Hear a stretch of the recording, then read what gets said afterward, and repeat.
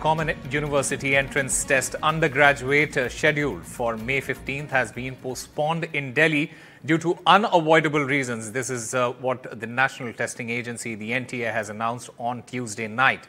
The examination will now be conducted in the capital on May 29th and revised admit cards will be released for the candidates. Uh, the exam body further stated that uh, the examination will proceed as scheduled in all other cities nationwide.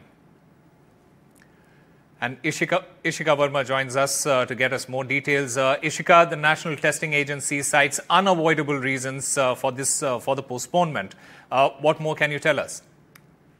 Well, yes, certainly, you know, as you rightly pointed out, now the National Testing Agency has in fact announced the postponement of the CUET UG exams for the centers in Delhi. That means the exams uh, you know, uh, uh, that was scheduled to take place tomorrow in Delhi. They will now be, uh, you know, taking place on May 29th. Now, this change is only for the centers in Delhi. That means all the other centers, which includes, you know, centers in Gurugram, Faridabad, Noida, all of them will have their exams as per schedule. That is tomorrow.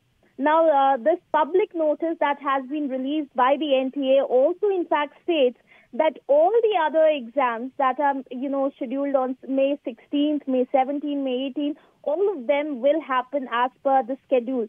Now, what uh, you know, what we are getting to know as per the sources is that this is due to the manpower issues, uh, you know, during this Lok Sabha election. But certainly, due to this, you know, uh, due to this last-minute changes, what is also expected is that the the candidates they might face a lot of trouble tomorrow since it is, you know, it, uh, this public notice just comes hours ago from the exam tomorrow. Over to you.